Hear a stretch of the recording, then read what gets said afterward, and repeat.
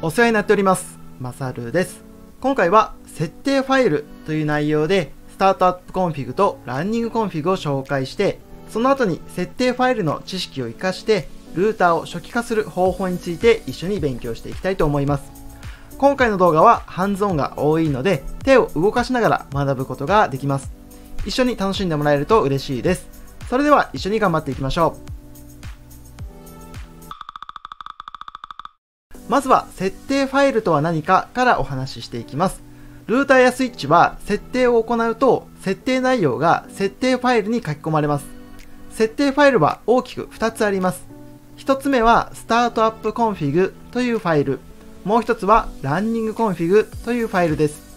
スタートアップコンフィグは機械が起動するときに読み込む設定情報です。もしルーターを再起動した場合は、スタートアップコンフィグの設定ファイルを読み込んで設定を反映させます。注意事項としては、このファイルは自動更新されません。起動した後、何かしら設定変更を行った場合は、手動でスタートアップコンフィグの情報を更新する必要があります。もう一つはランニングコンフィグ。ランニングコンフィグのファイルは、現在動作している設定情報が保存されているファイルです。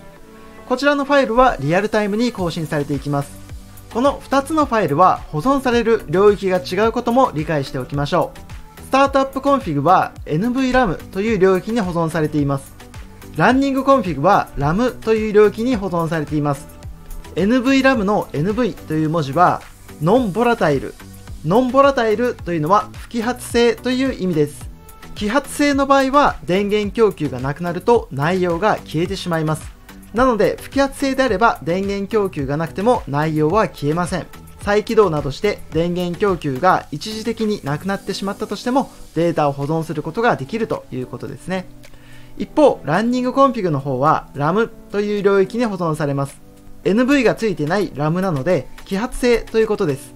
RAM の領域に保存されているランニングコンフィグのファイルは再起動などして電源供給がなくなってしまうとファイルも消えてしまいます。現在の設定内容を保存しておきたい場合は、再起動する前にランニングコンフィグの内容をスタートアップコンフィグにコピーしてから再起動しないと、再起動した時にランニングファイルが消えて、スタートアップコンフィグの設定内容で起動してしまうので注意が必要です。設定を保存する場合は、ランニングファイルをスタートアップコンフィグにコピーしておく。この作業は忘れがちなので注意が必要です。この作業を忘れて再起動をしてしまい、設定内容を全て消してしまったというのはネットワークエンジニアあるあるです。試験でも実務でもこの設定ファイルの内容は必ず覚えておくべきことなのでしっかり覚えておきましょう。あとは補足事項です。設定ファイルの領域としてフラッシュメモリという領域があることも覚えておきましょう。フラッシュメモリには iOS や VLAN の情報が保存されています。フラッシュメモリは不揮発性なので電源供給がなくなっても消えることはありません。スイッチの VLAN の設定はフラッシュメモリーの VLAN.file ファイルというところに記録されています。VLAN については別の動画で説明しますが VLAN という機能の設定情報は VLAN.file ファイルに保存されます。スイッチを初期化するときには VLAN の情報も削除する必要があるので VLAN.file ファイルの削除も必要です。ここは忘れがちなのでしっかり覚えておきましょう。それではここまでの知識を踏まえてパケットトレーサーを使ってルーターを初期化してみたいと思います。それでは先ほど勉強した設定ファイルの知識を活かして今回はルーターの初期化をしてみたいと思います。まずは手順1ルーターを配置しましょう。ルーターは何を選んでいただいても大丈夫ですが私は2811が好きなので2811を選びます。次は手順にルーターをクリックして CLI のタブを選択してするとこのような文字が出てくるので最初のセットアップモードは NO でスキップしてください。手順の3特権モードに移行しましょう。Enable で特権モードに移行することができます。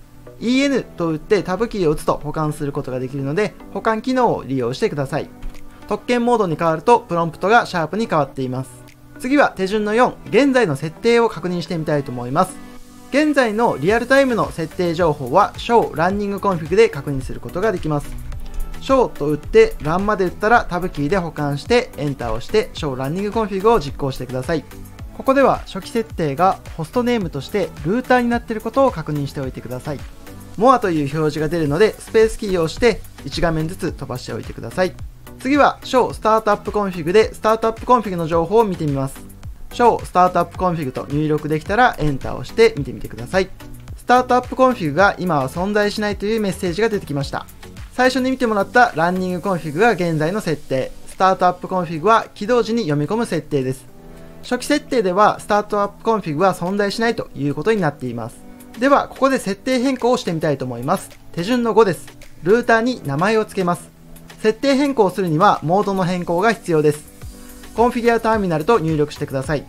Configure Terminal と入力できたらエンターです。 Router Config となっていることを確認してください。このモードでルーターに名前を付けます。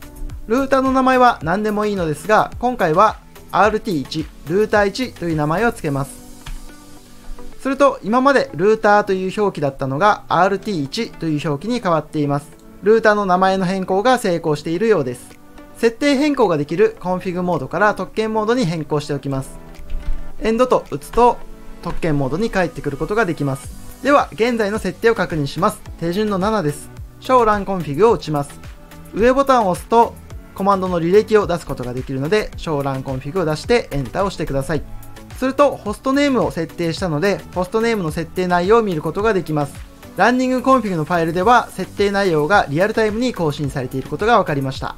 では、念のため、Show スタートアップコンフィグもこのタイミングで見ておきましょう。Show Startup Config を見ると、 Startup Config がまだないという表示が出てきています。では、現在の設定を Startup Config にコピーします。 Copy、Running Config、Startup Config です。コピーコマンドは順番が大切です。 Running Config ファイルを Startup Config にコピーします。この並びが大切なので、しっかり意識してください。では、エンターを押します。ファイルネームはこのままでいいので、エンターを押してください。すると、 Running Config の内容を Startup Config にコピーすることができているはずです。Startup Config の内容を確認します。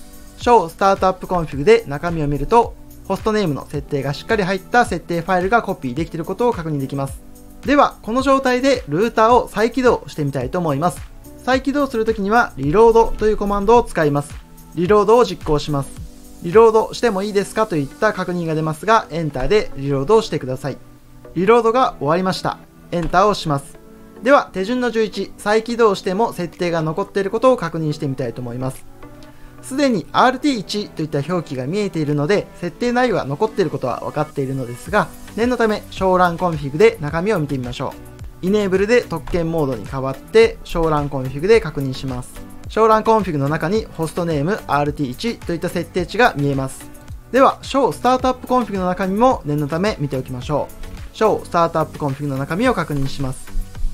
Startup Config の中にもホストネーム RT1 という設定がしっかり反映されています。ここまでの流れで Running Config を Startup Config にしっかりコピーしておけば再起動したとしても設定値が残っていることが確認できましたではこのような設定が残っている状態のルーターを初期化しようと思いますルーターを初期化するには2つの手順が必要です1つ目が Startup Config の削除もう1つが再起動です Startup Config を削除しておけば再起動した時にまっさらな Startup Config から立ち上がっていくことになるので再起動した時に初期状態でルーターは立ち上がってきます。では本当に初期化できるのか見てみたいと思います。 Startup Config を削除するときには、 Erase コマンドを使います。 Erase Startup Config と入力できたらエンターを押して、消しても大丈夫ですかといったメッセージが出ますが、ここでもエンターを押して実行してあげてください。このタイミングで Startup Config の設定を確認してみたいと思います。Show スタートアップコンフィグで見てみると、 Startup Config が存在しないといったメッセージが出てきています。では再起動して初期化ができるか見てみたいと思います今は RT1 初期設定ではない設定が入っていることが分かりますが再起動すればホストネームも初期値に変わっているはずです。では再起動します。再起動はリロードです。Confirm もエンターで OK してください。はい。再起動が終わるとセットアップモードが立ち上がってきました。初期状態なのでセットアップモードから立ち上がっているということですね。セットアップモードは必要ないので No でスキップしてください。すると RT1 といった設定が初期値のルーターに変わっていることがわかります。念のため現在の設定を確認します。 Enable で特権モードに変わって Show Run Config。ホストネームの設定値は初期値のルーターに変わっています。 Show Startup Config も見てみます。 Startup Config が存在しないというメッセージが出てきています。このようにルーターを初期化する場合は、 Startup Config を削除して再起動すれば初期化をすることができます。ちなみに Running Config を削除する方法はありませんので気をつけてください。ルーターを初期化するには Startup Config を消して再起動の手順です。今回はルーターの初期化の流れを見てもらいました。補足としてスイッチの初期化について少しお話をします。スイッチを初期化する場合は、 Startup Config を削除して、リロードをする前に一つ作業があります。それが VLAN.dat ファイルの削除です。最初に説明したように VLAN の情報は VLAN.dat ファイルというところで管理されています。スイッチを初期化したい場合は、 Startup Config ファイルともう一つ VLAN.dat ファイルも削除する必要があるので、しっかり覚えておきましょう。それでは Packet Tracer を使って running config や startup config の見方、そしてルーターの初期化まで一緒にやってみました。最後に今回の学習内容をまとめておきましょう。今回はまず設定ファイルのお話からしました。覚えておきたい設定ファイルはまずこの2つです。 startup config と running config です。 startup config では起動時に参照される設定が保存されているファイルです。running config は現在の設定が保存されているファイルです。 startup config は自動更新されないので設定値を残したい場合は、 running config から startup config にコピーしてあげる必要があります。 running config はリアルタイムで更新されます。保存領域についてもお話しました。 startup config は NVRAM、不揮発性の領域に保存されています。 running config は RAM、揮発性の領域に保存されています。補足事項としてもう一つ保存領域を紹介しました。iOS などが保存されているのはフラッシュメモリーです。フラッシュメモリーの中に VLAN.dat ファイルも保存されています。フラッシュメモリーは不揮発性です。さらに今日はたくさんのコマンドを使ってもらいました。少しコマンドも復習しておきましょう。特権モードに移行するためのコマンドは Enable です。現在設定されている設定ファイルの情報を見るコマンドは Show Running Config ですね。起動時に参照される設定ファイルの情報を見るコマンドは Show Startup Config です。 running config を startup config にコピーするためのコマンドはコピーコマンドを使います。どっちが先でどっちが後だったかしっかり覚えるようにしましょう。 running config を startup config にコピーする場合は、 copy、running config、startup config です。 running config を startup config にコピーします。再起動するためのコマンドは、リロードです。スイッチを初期化するときには VLAN の設定ファイルも削除する必要があります。VLAN の設定ファイルを削除するときには、ディレートコマンドを使って、後ろでファイル名を指定します。はい。それでは今回は、設定ファイルの話と、ルーターの初期化という話で、いろいろと一緒に勉強してみました。今回の動画、いかがだったでしょうか？もし今回の動画がお役に立てば、高評価、チャンネル登録をしていただけるととても嬉しいです。それではまた次回の動画でお会いしましょう。最後まで動画をご視聴いただきありがとうございました。